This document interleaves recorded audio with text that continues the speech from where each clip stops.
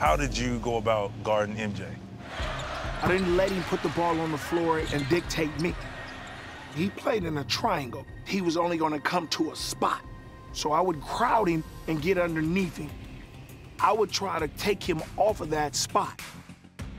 So then that'll mean he'll try to strip through, knock me off, and then I can get an offensive foul on him. So if you agitate him a lot, players get to start getting egos. Man, get off me. You know, this. and then especially if you're not scoring and the referee's not giving them calls, then you want to try to prove something. The Sonics won the next two games. Chicago eventually prevailed, but Jordan only shot 22 for 60 the rest of the series. Payton with the steal and puts it down. And that apparently had something to say to Jordan.